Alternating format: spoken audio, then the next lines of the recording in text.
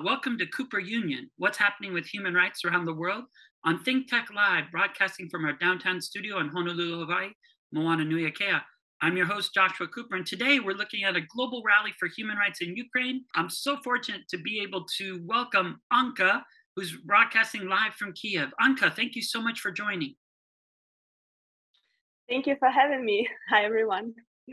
What inspired you to get involved to end this war?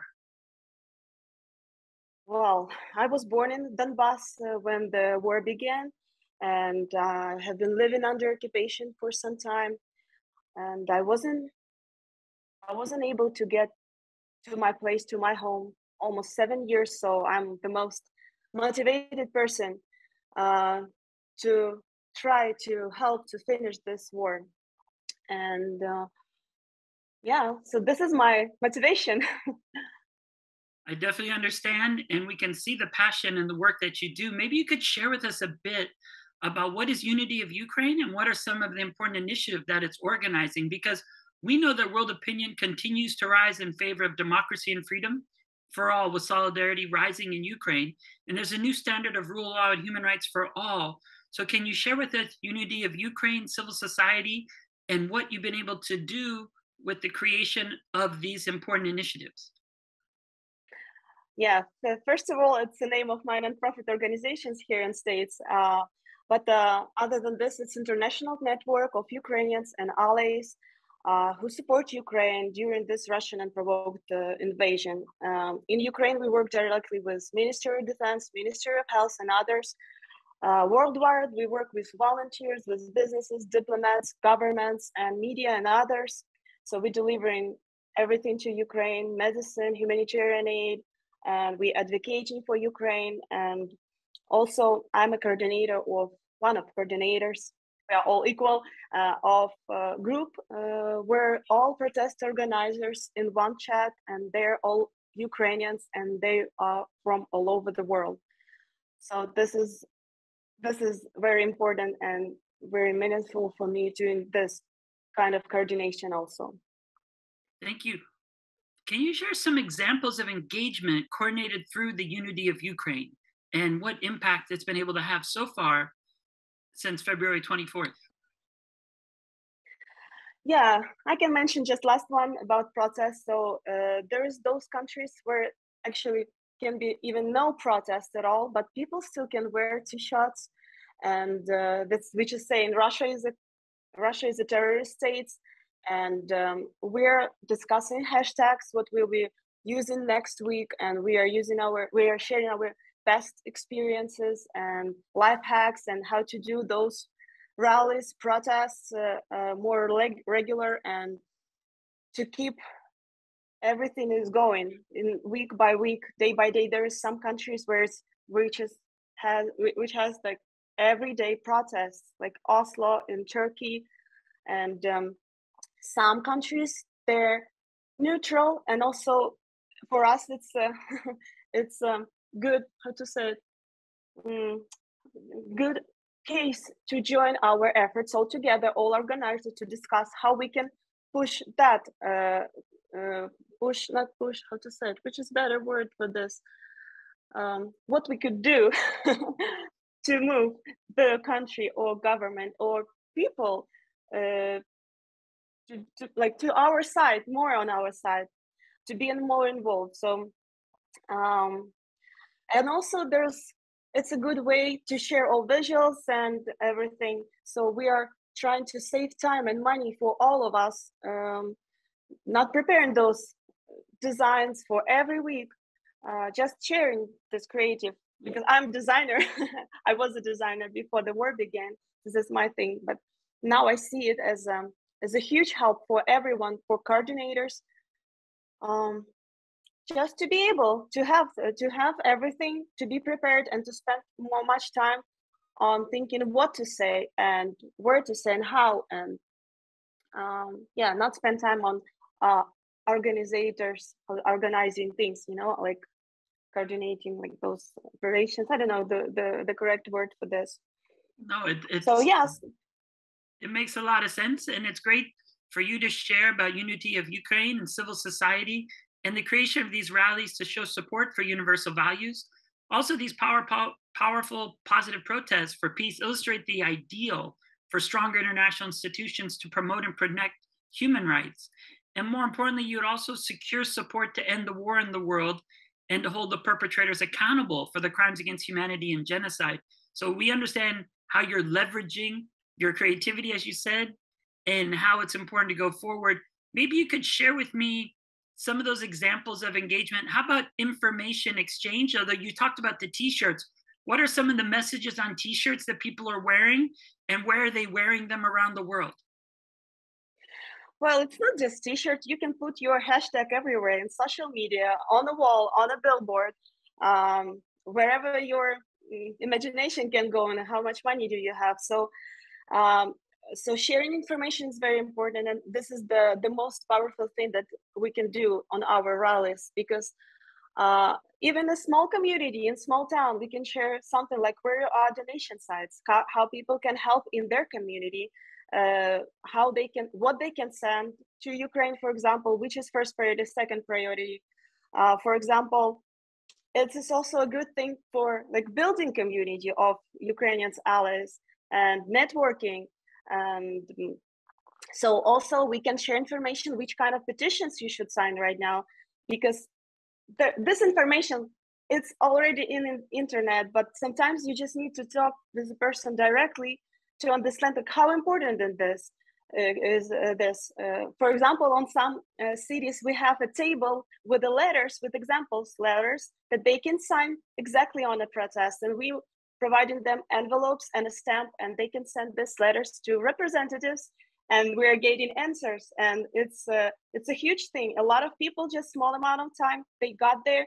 they signed petition, they signed a letter, they signed a request, uh, everything that they want to say to their representatives and we just send it and yes it's i see the i see the results and people sometimes doesn't know those numbers of those bills that our representatives should vote or should sign or um yeah but we are providing them this information. We're saving time for them. It's also important. And uh, with this kind of efforts yeah it's win-win-win situation. Well that's great. And there's a lot that we can get to. So first and foremost you were talking about supplies that are needed.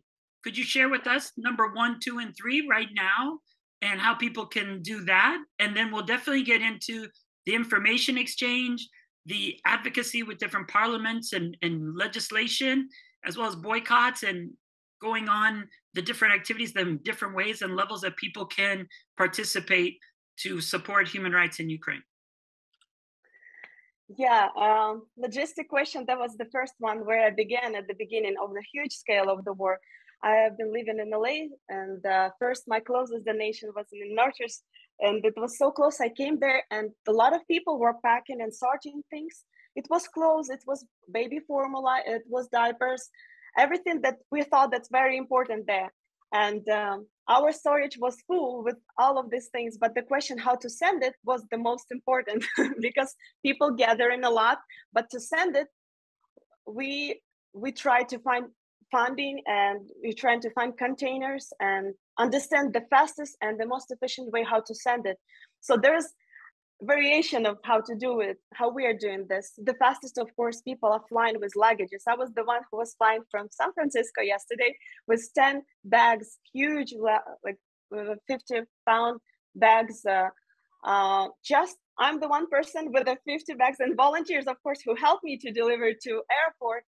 So I went through check-in. They checked in everything. I gave them letter that this is humanitarian aid, this is that organization, this organization, and we are spreading it to like I'm going to Warsaw and then by car to Ukraine, and I'm delivering it uh, like by to front lines basically, uh, like by car or just uh, using our um, delivery companies like uh, Post and everything so yeah so this is the fastest but also very expensive because the price of the bag is very huge.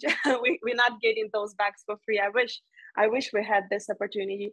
But uh, second one it's uh, also very like uh, this is first priority goals. It's just tactical medicine and um, mm, mostly it's tactical medicine because uh, it's the weight is so like less it's, it's small weight but the value is very big because you can stop for example bleeding with the with the one small tourniquets and it's it's pretend you it's uh, prevent person from bleeding for short amount of time. It's very important to have this and we we need it a lot uh, right now especially when we have those liberated cities and we are uh, i can say that we are losing a lot of like three times more people just to try to get our territory back so uh, we need a lot of tactical medicine right now and protective gear also.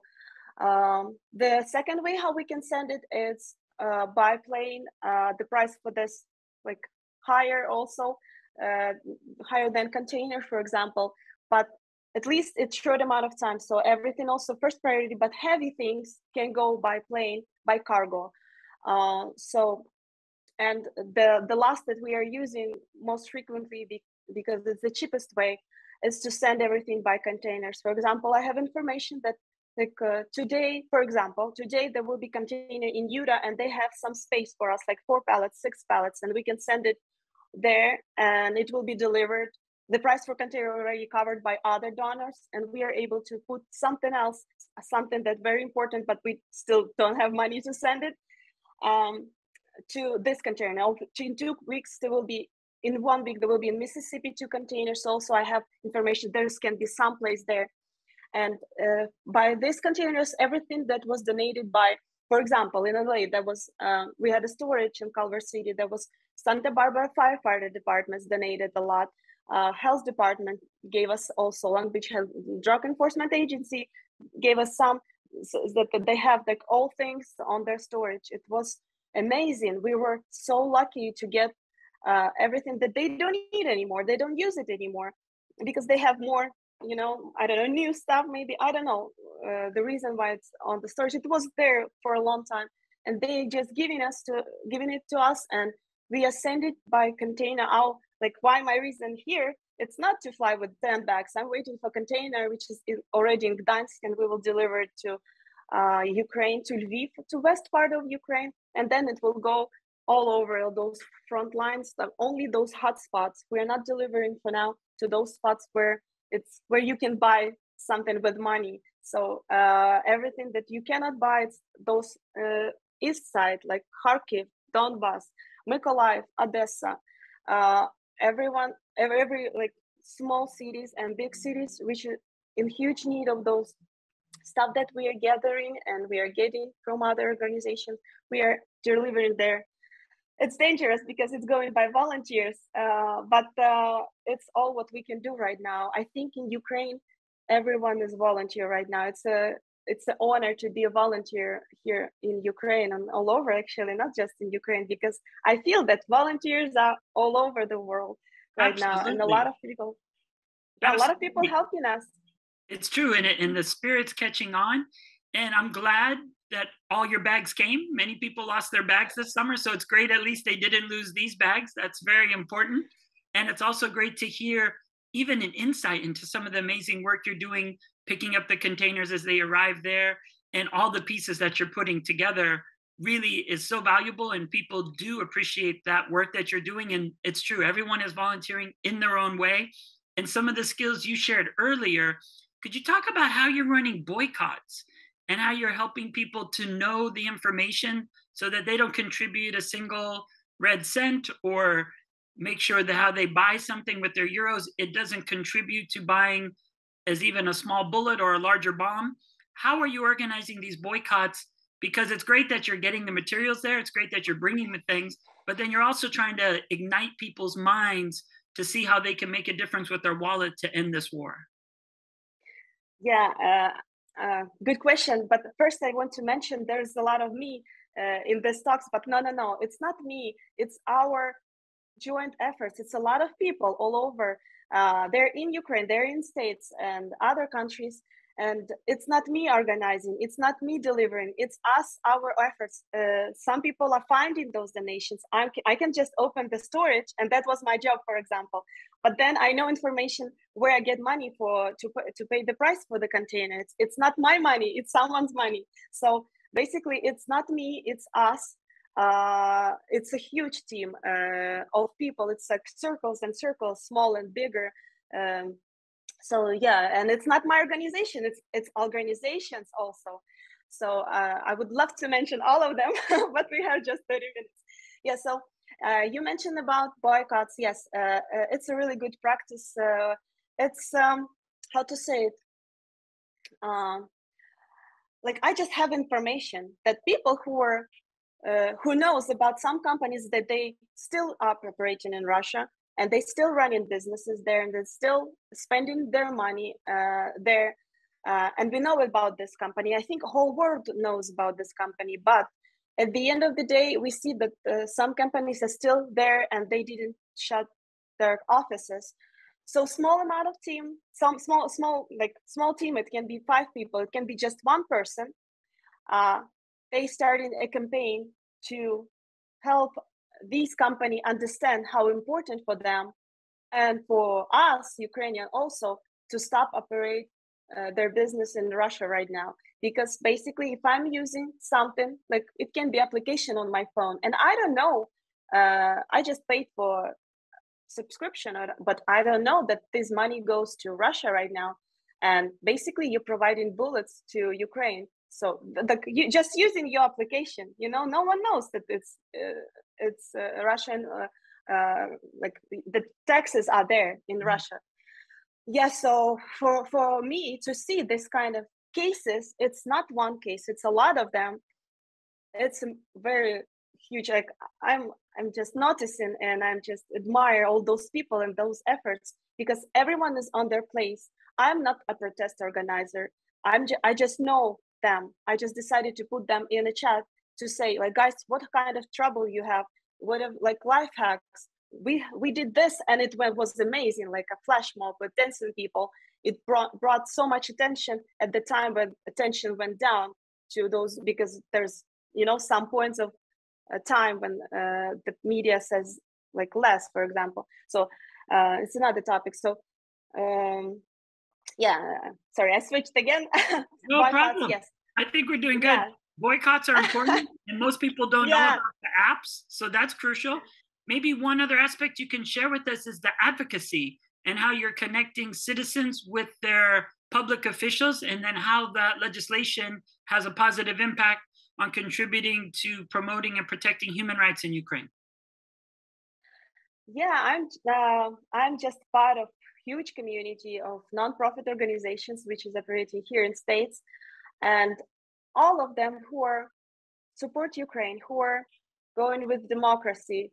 Uh, they are advocating for Ukraine in Capitol building. It's like days, days and days in in Washington D.C. So it's a really good way to talk with their representatives and to explain them where and how they can help share their stories. I'm the one who's sharing stories from the ground because I'm flying back and forth to Ukraine. It's my third trip already. And I can say what exactly happening right now. When I see with my own eyes, I have everything on my phone and I can show uh, that, that I had a flag with the signature signature with those soldiers that were signed when I was delivering help. Just explaining like this is real. It's not that kind of far. it's just like me. I can tell you, you can see, you can hear those stories through my mouth basically uh, through my emotions yes so it's it's uh, it's also joint effort. yes so some people more uh, into those terms and into those bills and legislation acts and everything i'm more um, on emotional side on story side or uh, i don't know but um, it's i think it's a good team uh, also we had some uh, our musicians there their soldiers were there uh, who was in Ukraine. Like they they were flying specifically for these events to say like I'm a soldier. You can ask me whatever you want to ask, and I will be answering all your questions. And also I will give you whole update because everything that government says it's one thing we are saying the same but we can say it from our ground from our uh, perspective from our small union, yeah from battalion from small city uh, just from my family as a unit also i can say what is happening and um, from my friends and from you know different by different views. So uh, it's amazing. I think we we should spend more time on this also advocating for ukraine with our representatives here in states and also sharing through this uh, protest coordinators chat. Uh, we are sharing experience how they can advocate on other countries like australia and in uh, germany europe all over like how they can do it with you, using this our experience uh, scaling this how we can join our efforts and um, i don't know messages that we want to share. It's true like once you build one example then you can replicate it and as you said scale it up to then make extra pressure in the most positive ways. And it is combining how we use our money to contribute to the movement for human rights. It is combining our voice in this case for the voiceless who are busy fighting on the front lines but making sure that we educate. And we know you can't do all of it but it's it's connecting people and even accountability so that people could hear from a soldier on the front lines what's going on and to be able to ask any question. That's so important. And so the people to people exchange is absolutely essential. And it's also taking away the media in the middle but allowing everyone to find out what they can do and how with their basic skill set they can even be more strategic to make a, a great difference going forward. Can you also maybe share with us even dancing? I think you're talking about how we could dance for democracy and have people have come together and done flash mobs. So it's not just your wallet, it's not just calling, it's also moving your body to make a difference. Yeah, it's a very good example how controversial dancing can be. You know, when it's protest that was in LA, for example. One of those was in LA, and people just gathering together weeks and weeks to uh, to make those, you know, to train how to move with the. Oh, that was the Ukrainian song, of course, and we were dancing together. Uh, that was also like a building community thing, but you know we thought we thought that we are doing right thing right now we want to bring as much as possible attention to protest to everything that is happening in Ukraine, even by dancing, you know. Uh, so um, yeah, that was hard to dance. Of course, uh, our faces were sad, but like with a smile on your face, we had sad feelings because I would love to dance somewhere else, not on protest, you know. But for me, it's it's it was a good, really good thing because I got my um, how to say it, like a little bit of movement because I'm sitting like this always with computers or phone in those chats and everything. But a little bit of movement, everyone is needed. Like also, uh, but uh, to gather a lot of people wearing blue and yellow on an amazing song, Ukrainian song, which is the way how we are sharing also our culture. That to show everyone, look, guys, this is our culture. It's supposed to be we need to save it and you're supposed to help help us to save it because it's it's amazing what we have how talented our people how creative we are how ukrainians are brave and funny and um, resilient also so yeah so this is a very good way to uh, to share our culture also and to to get this attention even through dance look, there's so many people dancing here and dancing there, and there's people that just can record themselves using the same moves, but also spreading the message that can be any message stand with Ukraine, very neutral, or arm Ukraine now, or Russia is a terrorist state. It depends. So basically, uh, delivering message always possible. it's everything that we're trying to do, spreading information, bring more attention, more attention, because you know where's your attention? There's your heart there and your focus and your thoughts. So yeah. And a lot is happening. We know that nine central and eastern european nato members are supporting ukraine's application for fast track approval into nato. We also know that there's been uh, recovery of Ukrainian grain that Russia's been trying to smuggle. So there's people holding them accountable at that level on a wider, vast scale. We also know there's been advances where we see then uh, north of Kherson and also retaken at least 50 towns and villages, freeing thousands of civilians. And we know it's also the flag is flying again over Davydiv Brid as well, just recently, as well as some actions in the east and the south. So a lot is going on, and everyone's making their contribution to try to end this war as soon as possible and make sure that peace can be restored and also that you could go back to your homeland. Yeah, it's true. Yeah, a lot of things happening right now, and uh, all happy news for me. Of course, when I see extra, when I see Ukrainian flag on liberated city, it makes my heart like beating so fast because I'm thinking like maybe Donbass also will be liberated soon. Maybe Crimea. Maybe I will go to Crimea soon also.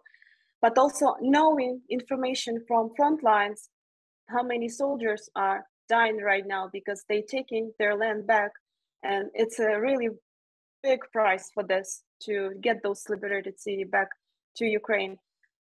Oh, so for me, it's also controversial. So I know what is happening, and there is no time no i don't know no space for me to celebrate something like this. I can i can smile yes but you know it's also sad very sad moment knowing those numbers and how how those people who are stayed there in those occupied territory how they are struggling right now. They don't have food they don't have, have water electricity medicine everything. So for us it's a lot of work for everyone uh, to help uh, to bring everything that it's needed there um, it's basically like burning man you know uh, so there's nothing there and you need to bring everything there so there will be life again uh, well, that would be burning man for the brilliant and the beautiful truly if that can be done. And we know you're doing a lot and of course one person can only do so much but it sounds like your circles of compassion are very creative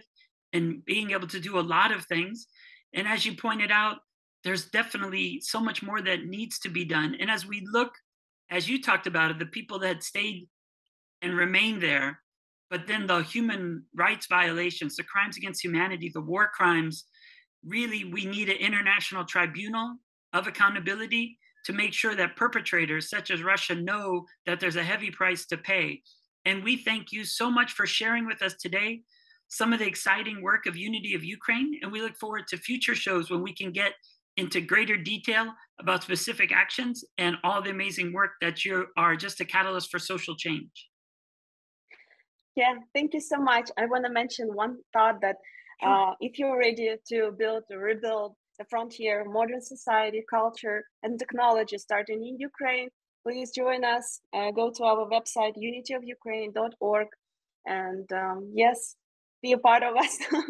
I will be happy um, to you know to help you if like how the to uh, to explain the way how you can help on your place with your time and yeah thank exactly. you so much for having me here no it's perfect it's it's what we're trying to do is show what persons can do where they're at with what they have and we see that beautiful message behind you and i think that's what we're just asking yeah. all people to do and thank yes, you so yes. much yeah the sign says bravery has two colors. It's uh, right uh, uh, right in in kiev it's a huge billboard. It's a very good way to also reminding to ourselves ukrainians that don't forget who we are where we are what we are doing and what we are fighting for. Yeah there will be the war will be over soon. I hope so. And um, yeah finally we we will do our thing as we do always as ukrainians Absolutely. Mahalo.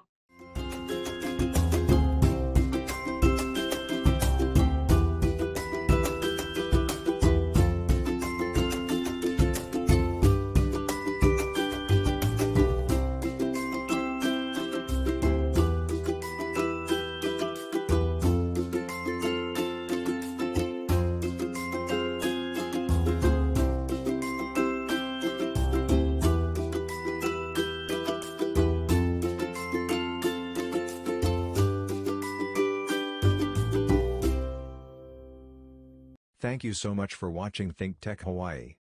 If you like what we do, please like us and click the subscribe button on YouTube and the follow button on Vimeo.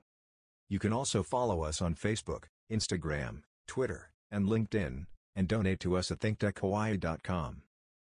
Mahalo.